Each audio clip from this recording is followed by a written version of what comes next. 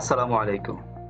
সুপ্রিয় শিক্ষার্থীরা শুভেচ্ছা নিও তোমাদেরকে নতুন আরেকটা ভিডিওতে স্বাগতম। তোমরা ইতিমধ্যে ভিডিও টাইটেল দেখে তোমরা বুঝে গেছো যে আজকে কি নিয়ে আলোচনা। অবশ্যই এটা হচ্ছে একটা ধারাবাহিক ভিডিও এবং ধারাবাহিক একটা আহ, ধারাবাহিক ভাবে আলোচনা করা হচ্ছে একটা নির্দিষ্ট টপিকের উপর।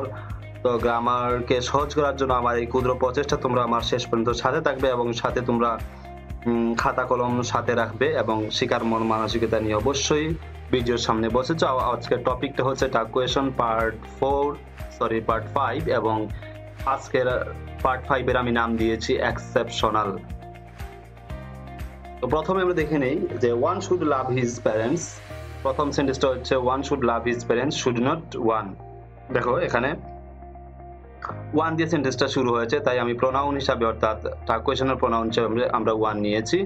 এবং শুড যেহেতু আছে মডেল অক্সিলারি ভাব আমরা আগেই শিখেছি, সেই জন্য মডেল অক্সিলারি ভাবটা নিয়ে নিলাম এবং যেহেতু এটা অ্যাফার্মেটিভ সেন্টেন্স শুডের সাথে নট নিলাম শুড নট ওয়ান আমার মনে হয় কোনো ঝামেলা হয় নাই, তোমরা সহজেই বুঝতে পেরেছ। নিয়মটা হচ্ছে যদি ওয়ান দিয়ে কোনো সেন্টেন্স শুরু হয়, তাহলে আমরা টাক কোয়েশন হিসাবে সেটাতে ওয়ান ব্যবহার করব। এখানে one cannot deny this proposal can যেহেতু এটা নেগেটিভ সেজন্য ক্যানের সাথে নট বসে নাই, শুধু ক্যান ওয়ান এই যে ক্যান ওয়ান ঠিক আছে? এইখানে বলে দিয়েছি ওয়ান থাকলে ওয়ান হবে। প্রথম নিয়মটা দেখলাম। এখন আরেকটা নিয়মে আসি। This is a nice building এখানে এখানে ইজেন্ট ইট যেহেতু এটা অক্সিলিয়ারি ভার্ব ইজ আছে এবং ইজের সাথে নট বসছে অ্যাফার্মেটিভ সেন্টেন্স হয় নেগেটিভ হয়েছে, কিন্তু ইট হয়েছে দিসের পরিবর্তে। নিয়মটা কি? সেটা আমরা দেখে নেই। যদি দিস এবং এই এটা দেখে নেই।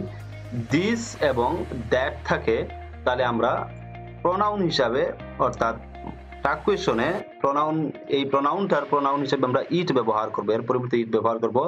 দিস আছে দ্যাট এই যে দ্যাট এখানে দ্যাট আছে দ্যাটের পরিবর্তে আমরা ইট ব্যবহার করব। এবং দেজ এবং দোজ এই যে দুইটা আছে দেজ এবং তোমরা ডান পাশে দেখতে পাচ্ছ দেজ এবং দোজ হলে দে ব্যবহার করব। তাহলে এখানে দেজ আছে, দেখো these mangoes are not tasty এই দেজের পরিবর্তে আমরা দেখো দে ব্যবহার করেছি এবং এখানে অক্সিলিয়ারি ভার্ব আর আছে, যেহেতু এটা নেগেটিভ এখানে অ্যাফার্মেটিভ হয়েছে, আর দে। আমার মনে হয় তোমাদের বুঝতে পেরেছ দিস এবং দ্যাট থাকলে হবে ইট এবং দেজ এবং দোজ থাকলে হবে দে। আর বাকিটা হচ্ছে আগের নিয়মেই যেরকম আমরা করেছি, দেখো পরেরটা this is an expensive necklace isn't it তাই না? দিস থাকলে ইট হবে, তারপর হচ্ছে দোজ থাকলে দে হবে, দেখো those are very not children are not they that was not a big surprise was it these were not years were they আমার মনে হয় তোমরা বুঝতে পেরেছ। তো সহজ আছে। এখানে আরেকটা দেখি। Some of the students are present are not they এখানে এখানে দে বসছে, কিন্তু এখানে কোনো দে নাই student some of the students some of the students এটা এটা স্টুডেন্টের সাথে এস আছে সাম অফ দ্য স্টুডেন্ট তাই না? Some of the students are present তাহলে এখানে দে কেন বসল আমরা নিয়মটা দেখেন যাই। We use pronoun tag it or they sentence starting with some of, none of, most of, any of কোনো সেন্টেন্স যদি some of none of any of most of থাকে some of none of most of any of থাকে, তাহলে আমরা কি করি? এই যে সাম অফ দিয়ে সেন্টেন্সটা শুরু হয়েছে, সেজন্য আমরা দে নিয়েছি, আমরা ইট অথবা দে নেওয়া যায়, যেহেতু এটা হচ্ছে প্লুরাল প্লুরাল যে বার্বটা প্লুরাল সেজন্য আমরা দে নিয়েছি, যদি বার্বটা সিঙ্গুলার হয়, যখন মোস্ট অফ আছে এই সেন্টেন্সের দেখে এখানে মোস্ট অফ আছে কিন্তু এখানে বার্বটা হচ্ছে সিঙ্গুলার তাই কি হবে? ইজেন্ট ইট ইট নিয়েছি, এখানে দে নেওয়া যাবে না।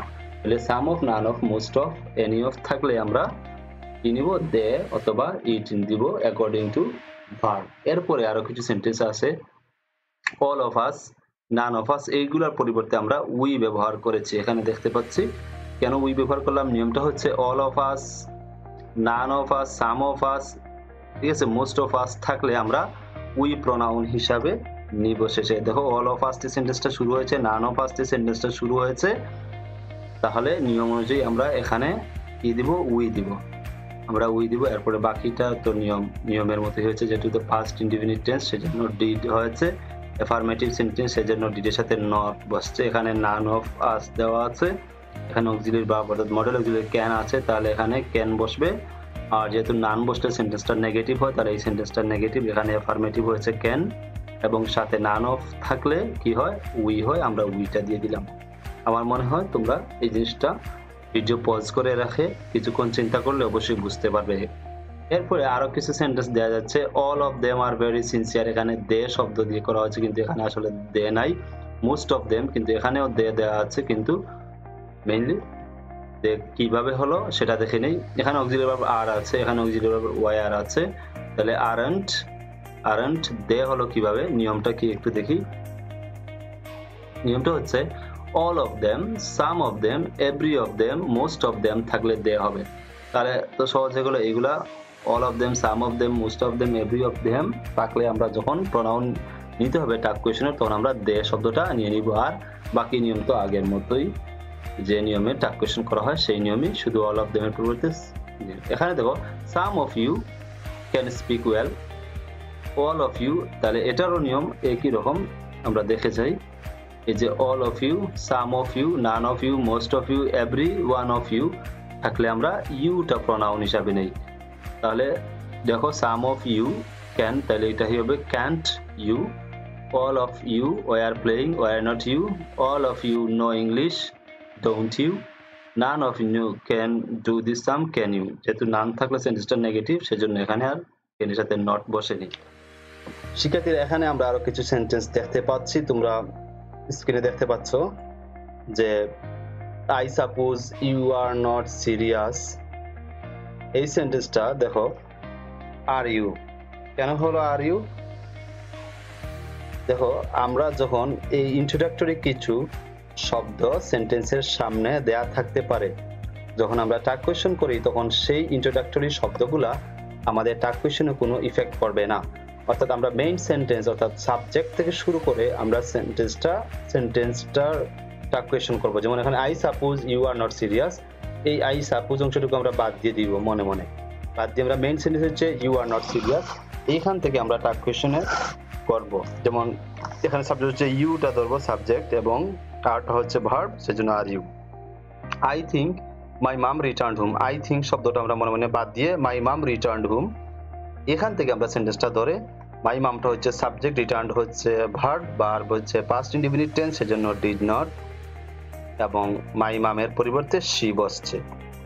ঠিক আছে? I don't suppose you are serious এই যে আই ডোন্ট সাপোজটা বাদ দিয়ে দিব মনে মনে, দিয়ে you are serious aren't you are serious are sorry এখানে আর নট ইউ হবে।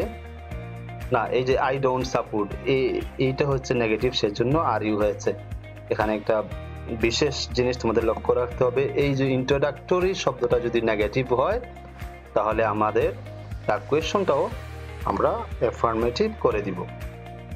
এখানে আরও অনেকগুলো উদাহরণ তোমাদের সামনে দেয়া আছে, তোমরা দেখতে পাচ্ছ। ইন্ট্রোডাক্টরি শব্দ দিয়ে I don't believe I don't think I hope it appears as far as I can see এই শব্দগুলো হচ্ছে ইন্ট্রোডাক্টরি শব্দ। এগুলো যদি থাকে, তাহলে এগুলা শুধু অ্যাফার্মেটিভ নেগেটিভের ক্ষেত্রে টাক কোয়েশনে আমাদেরকে ইফেক্ট করে আর কোনো উপায় করবে না।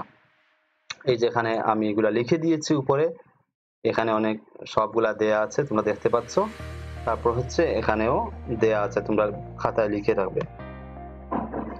তারপর হচ্ছে এখানে আরও কিছু দেয়া আছে, জড় পদার্থ বা বেবি বা ইতর শ্রেণির প্রাণী হলে আমরা এগুলার পরিবর্তে ইট ব্যবহার করি। যেমন দা বেবি দা বেবি এর ক্ষেত্রে আমরা ইট ব্যবহার করেছি দা ডগের ক্ষেত্রেও আমরা ইট ব্যবহার করেছি দিস ক্ষেত্রে, আমি আগেই দিয়ে দিয়েছি এটা দিসের ক্ষেত্রে আমরা ইট ব্যবহার করেছি। তো শিক্ষার্থীরা নিশ্চয়ই তোমাদের কোনো কিছু জানার থাকলে অবশ্যই আমাকে কমেন্ট বক্সের মাধ্যমে জানিয়ে দিবে।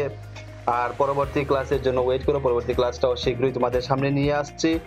এবং তোমরা বাসার কাজ হচ্ছে অনেক অনেক অনেক অনেক প্র্যাকটিস করবে। প্র্যাকটিসের কোনো বিকল্প নাই, সেটা তোমরা জানোই।